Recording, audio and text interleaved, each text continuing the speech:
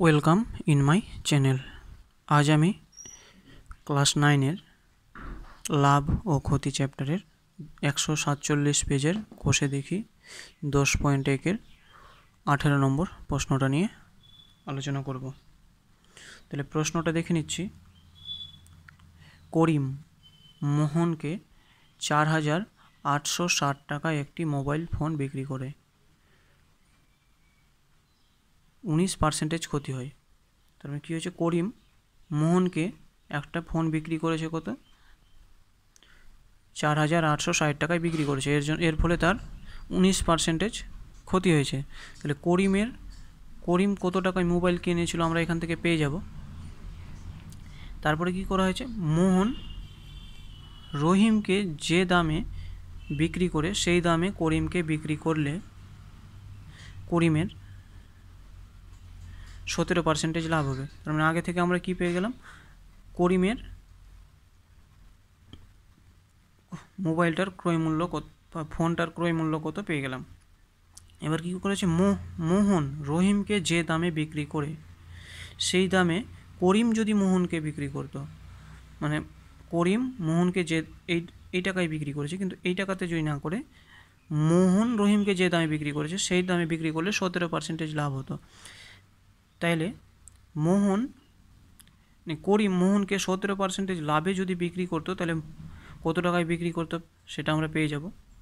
তাহলে সেই টাকাটাই কি বলা হয়েছে? মোহন রহিমকে বিক্রি করেছে। তাহলে মোহন রহিমকে কত দামে বিক্রি করেছে সেটাও পেয়ে গেলাম। আর কত দামে সে কিনেছিল সেটাও পেয়ে গেলাম। এবার মোহনের শতকরা কত লাভ?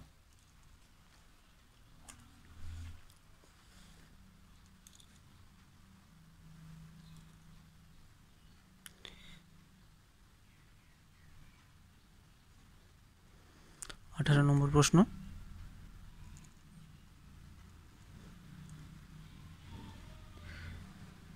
করিম, কে আর? কাকে বিক্রি করেছে? মোহনকে। আবার মোহন কি করছে? কাকে রহিমকে বিক্রি করবে। রহিমকে। তাহলে এই এখানে কত টাকায় বিক্রি করেছে? বিক্রি করেছে চার হাজার আটশো ষাট টাকায়। তাহলে এর ফলে তার কী হয়েছে? কুড়ি, সতেরো পার্সেন্টে, উনিশ পার্সেন্টেজ ক্ষতি হয়েছে। তাহলে করিমের মোবাইলটার ক্রয় মূল্য কত ছিল পেয়ে যাব?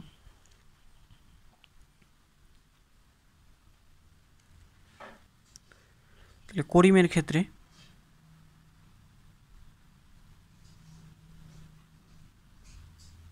ক্ষেত্রে ফোনের বিক্রয় মূল্য। ফোনের বিক্রয় মূল্য সমান হয়ে যাচ্ছে চার হাজার আটশো ষাট টাকা। এর ফলে তার উনিশ পার্সেন্টেজ ক্ষতি হয়েছে।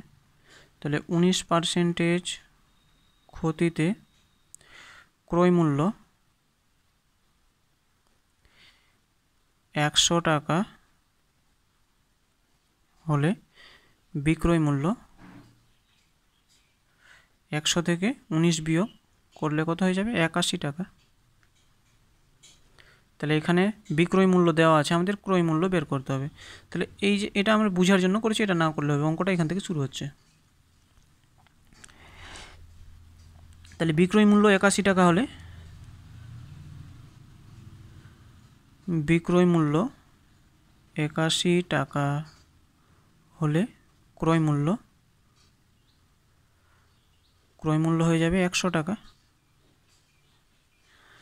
বিক্রয় মূল্য এক টাকা হলে ক্রয় মূল্য হয়ে যাবে একশো বা একাশি টাকা।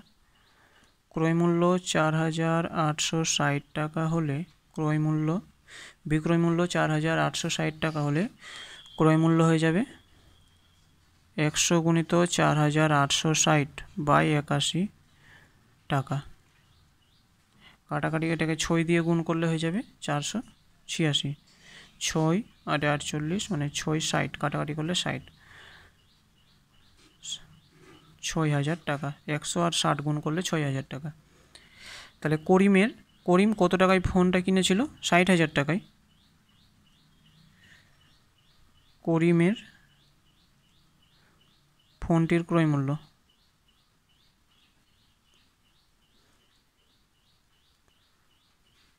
সমান ছয় হাজার টাকা।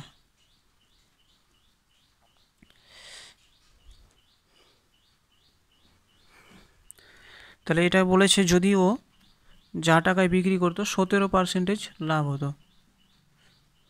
তাহলে সতেরো আর রহিমের ক্রয় মূল্য হচ্ছে কত?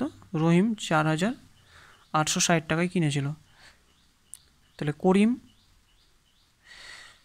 সতেরো পার্সেন্টেজ লাভে সতেরো পার্সেন্টেজ লাভে করিমের বিক্রয় মূল্য। মূল্য হতো ষাট হাজার টাকা তো দাম ছিলই ছয় হাজার যোগ ছয় হাজার গুণিত সতেরো বাই একশো টাকা।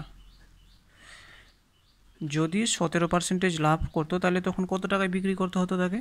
তাহলে ছয় হাজার যোগ ছয় হাজার গুণিত সতেরো বাই একশো, দুটো শূন্য দুটো শূন্য কেটে যাচ্ছে। ছয় হাজার যোগ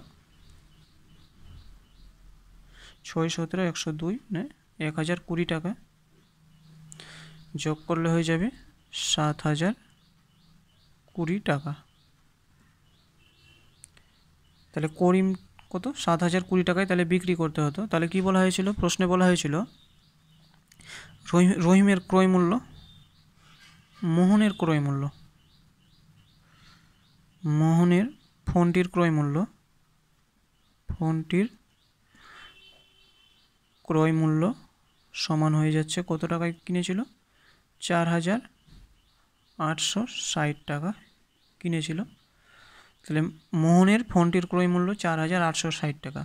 তাহলে প্রশ্নে বলা হয়েছে, মোহন রহিমকে যে দামে বিক্রি করলে, যদি করিম মহিমকে সেই দামে বিক্রি করতো, তাহলে করিমের সতেরো পার্সেন্টেজ লাভ হতো। আরেকবার বলছি করিম মোহনকে প্রথমে চার হাজার আটশো ষাট টাকায় বিক্রি করেছিল।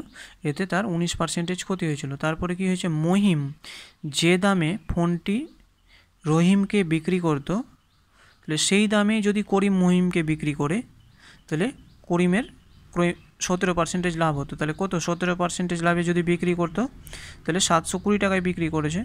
তার মানে কি? মোহনও রহিমকে সাত সাত হাজার কুড়ি টাকায় বিক্রি করেছে। তাহলে মোহনের ফোনটির ক্রয় মূল্য এত হচ্ছে? আর বিক্রয় মূল্য কত হবে? সাত হাজার কুড়ি টাকা। মোহনের ফোনটির বিক্রয় মূল্য সমান সাত হাজার কুড়ি টাকা। তাহলে মোহনের লাভ কত হবে? মোহনের মোট লাভ হয় সমান কত? সাত হাজার কুড়ি মাইনাস চার হাজার আটশো ষাট টাকা। তাহলে এটা বিয়োগ করলে কত হয়ে যাবে? বিয়োগ করলে শূন্য। বারো থেকে ছয় বাদ ছয়, এখানে হয়ে যাচ্ছে নয়। দশ থেকে নয় বাদ এক, এখানে হয়ে গেল ছয়, পাঁচ, সাত থেকে পাঁচ বাদ দুই।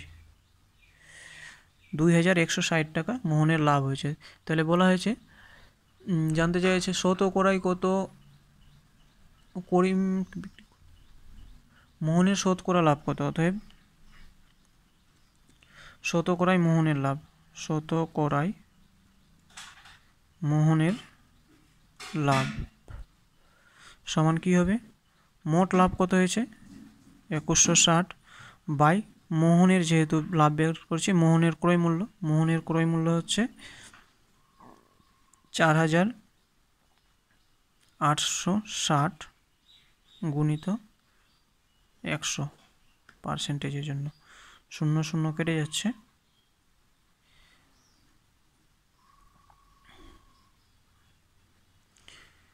ছয় দিয়ে যদি কাটা হয়, তিন ছয় আঠারো, তিন ছয় ছয় ছত্রিশ। ছয় দিয়ে কাটতে গেলে ছয় আটে আটচল্লিশ আর ছয় একে ছয়। নয় দিয়ে কাটলে? নয় দিয়ে কাটলে চার, নয় ছত্রিশ, নয় দিয়ে কাটলে নয়। আর কাটাকাটি যাচ্ছে না? চার আর একশো থাকছে উপরে, চারশো বাই নয় পার্সেন্টেজ। এটা পূর্ণ ভাঙতে গেলে? চার চার, নয়ে, ছত্রিশ, আবার চার, নয়ে, ছত্রিশ, চার, থাকছে চার বাই নয়। চুয়াল্লিশ পূর্ণ চার বাই নয় পার্সেন্টেজ তাহলে অতএব মোহনের শতকরায় লাভ হয় সমান চুয়াল্লিশ পূর্ণ চার বাই নয় পার্সেন্টেজ আশা করি তোমরা বুঝতে পেরেছ। Thank you for watching wait for next video